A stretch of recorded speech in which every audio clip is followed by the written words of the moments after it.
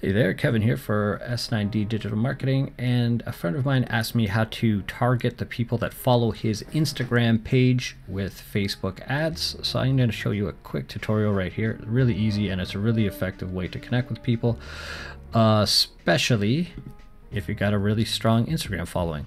So you can see right here, I'm inside Facebook's Business Manager.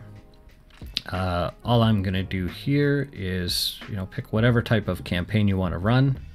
I'm going to say traffic just because. As I get into the campaign, you know, we just set up our budgeting or whatever on the first page here.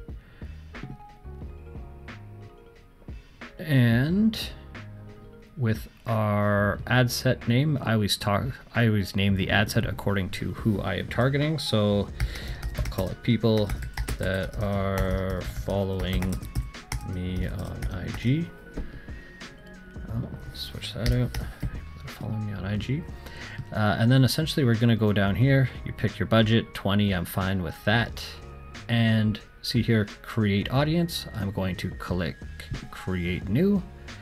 And I'm going to choose create audience. And then in here, I'm going to choose the source of the custom audience to be the Instagram account. So what I'm going to do there is just make sure that I choose the correct company. And we're going to say anyone who engaged with your professional account. Your other options would be anyone who visited the account, anyone who engaged with a post or an ad, anyone who sent you a message. You know, this would be a really, really uh, engaged audience right there. People who saved a post or an ad, they would also be very, very engaged. So this is the way uh, to, to target people who are following you on Instagram. These aren't actually the, the people who like your page, but if they do like your page, they've probably liked or commented or done something like that on a page. So that's what we're going to set it up as. Uh, then you have your date range here. We've been up and running for a while, so 365 is okay. We're just trying to get the, the biggest audience possible. Then we name it uh, people that have interacted with an IG post.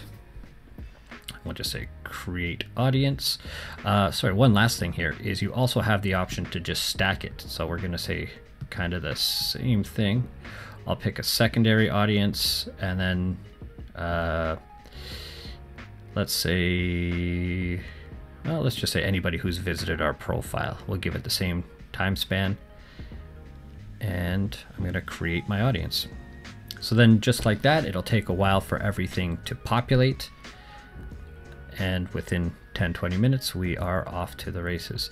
So that is how to target people who have uh, interacted with your page, engaged with posts, saved posts, anything like that through your Instagram page, and then send them ads through Facebook's Business Manager. You can send them ads through Facebook or through uh, Instagram. Uh, either way, these are both great ways to target people.